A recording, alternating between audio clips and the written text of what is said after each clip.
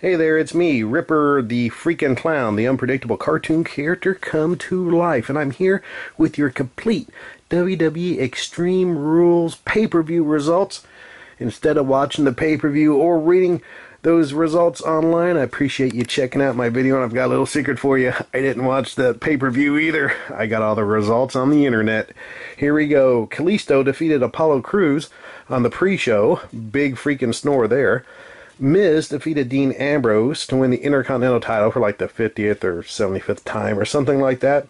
As if we really needed to see that feud continue from SmackDown, and as, as if we really need to see it continue even further now, which we know it'll probably stretch out for at least till SummerSlam.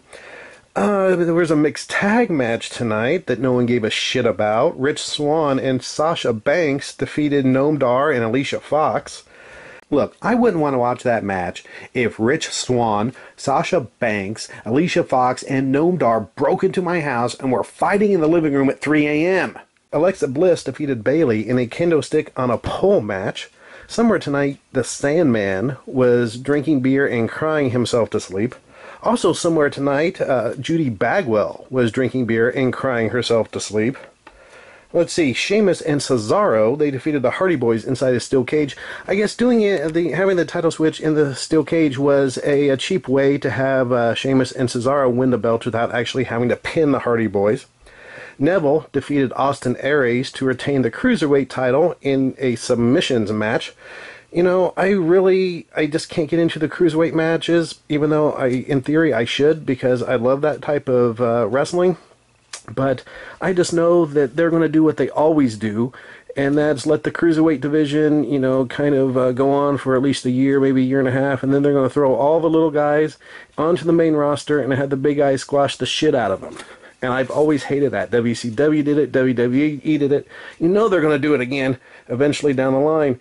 And uh, the match that I really wanted to see, um, not that I was watching it, but if I was actually watching this pay per view, the match that I would want to see, Goldust versus R Truth, did not take place. Apparently, from what I read on the internet, after announcing the match on Monday night, midweek, they decided it wasn't pay per view worthy. Goldust versus R Truth was not pay per view worthy, but the same brainiacs that came to that decision actually believed that um, Kalisto versus Apollo Crews was pay per view worthy, you know, at least on the pre show.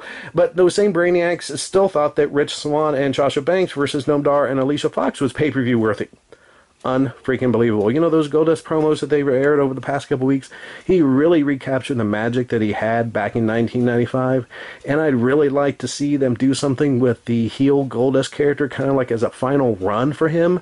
But somehow I doubt having having you know received the news that they scrapped that match from the pay per view because they didn't think it was pay per view worthy. I somehow doubt they're going to be doing anything with Goldust other than probably having him job out uh, as they have been as face. Now they'll be having him job out as a heel. And in the main event of the Extreme Rules pay per view tonight, so Samoa Joe. He defeated Roman Reigns, Seth Rollins, Bray Wyatt, and Finn Balor to become the number one contender for Brock Lesnar's Universal title. You know, we haven't really seen Brock Lesnar since WrestleMania. He hasn't defended it. And uh, as if the title meant anything, you know, before WrestleMania, it certainly means nothing now.